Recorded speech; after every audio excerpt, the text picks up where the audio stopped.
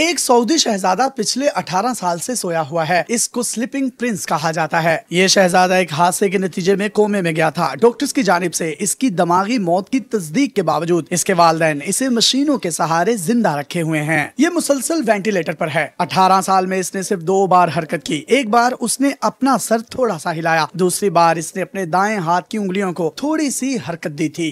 इस शहजादे का नाम Alwaleed bin Khalid bin Talal है। ये सऊदी शाही खानदान का रुकन है। इसके वालिद Khalid bin Talal Saudi Arab के बादशाह सलमान बिन अब्दुल अज़ीज़ के फ़र्स्ट कज़न है। ये सऊदी अरब के सबसे अमीर शहजादे अल वलीद बिन तलाल के भाई हैं। शहजादे खालिद को एक बार उस वक्त गिरफ़्तार कर लिया गया जब उनके वालिद का चार रोज पहले ही इंतकाल हुआ था। ये एक ऐसे वक्त में हुआ था जब उनका बेटा मुसलसल कोमे की हालत में था। शहजादा खालिद लबनान के पहले वज़ीर आज़म रियाज सालेह के नवासे हैं। ये वलीद बिन तलाल के सगे भाई हैं, जो न सिर्फ़ सऊदी अरब के अमीर तरीन शख्स हैं, बल्कि इनका शुमार दुनिया के अमीर तरीन लोगों में किया जाता है। शहजादा खालिद के साहबजादे वलीद बिन खालिद बिन तलाल गुजश्ता अठारह बरस से लाइव स्पोर्ट पर हैं। ये शहजादा आखिर वेंटिलेटर पर क्यों है? 2005 में इसका लंदन में एक खौफनाक कार एक्सीडेंट हुआ। इसकी गाड़ी मुकम्मल तौर पर तबाह हो गई और ये बहुत बुरे तरीके से जख्मी हुए थे। इन्हें फौरी तौर पर अस्पताल मुंतकिल किया गया, जहाँ पर वो कोमे की हालत में चले गए। उन्हें सऊदी अरब के दारुल हुकूमत रियाज के एक हॉस्पिटल में लाइफ स्पोर्ट पर रखा गया है। ये दस साल तक अस्पताल में लाइफ स्पोर्ट पर रहे। दो हज़ार सोलह में ठीक दस से ग्यारह साल के बाद इन्हें हॉस्पिटल से घर में मुंतकिल किया गया और घर में लाइफ स्पोर्ट की तमाम सहूलियात में असर है। इसके बाप ने दुनिया भर के महँगे महँगे महँगे डॉक्टरों से इलाज करवाया। हर तरह की मेडिसिन आजमाई गई, लेकिन शहजादे ने आँखें नहीं खोली। अभी इस शहजादे ने जवानी की दहलीज पर कदम ही रखा था कि उसको ये खौफनाक हादसा पेश आया। जरा तस्वुर करें कि उन वालदेन पर क्या गुजरती होगी, जिनका बच्चा पिछले दस साल से वेंटिलेटर पर है और मसनू तरीके से ज़िंदगी जी रहा है। ना वो हिल सकता है, न खा सकता है, न बोल सकता है, न सुन सकता है। ऐसे वालदेन के लिए ये गम कितना बड़ा गम होगा? और ऐसे शख्स के लिए जो सऊदी अरब का अमीर तरीन शख्स है। बाप के पास बेशुमार पैसा है। उसने दिल खोल कर अपने लगते जिगर की ज़िंदगी बचाने के लिए पानी की तरह पैसा बहाया है, लेकिन कोई इम्प्रूवमेंट नज़र नहीं आती। स्लीपिंग प्रिंस के बूढ़े वालदेन हर रोज सुबह इसी उम्मीद पर बेदार होते हैं कि उनका जवान बेटा भी आँखें खोल चुका होगा, लेकिन उसकी आँखें तकरीबन पिछले अठारह साल से बंद हैं। सिर्फ़ दो मौके ऐसे आए जब शहजादे की सेहत की बेहतरी के इम्कान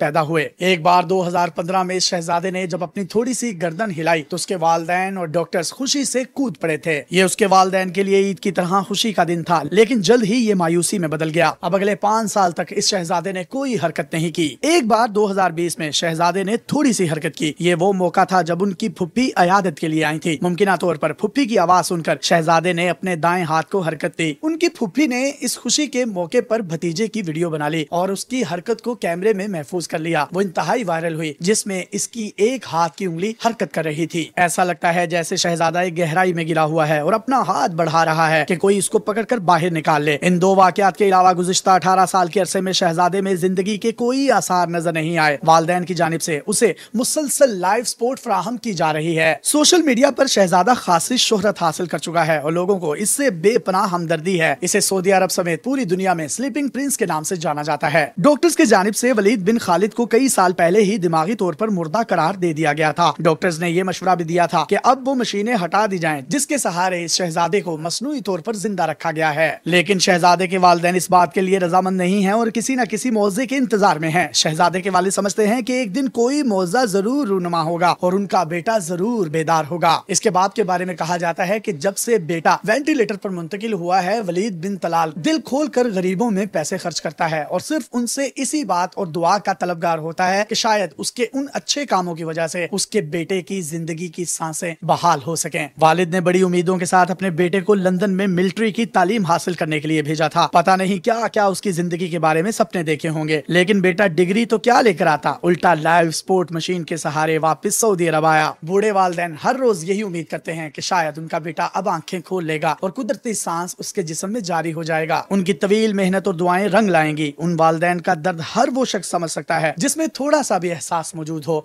जो साहिब औलाद हो।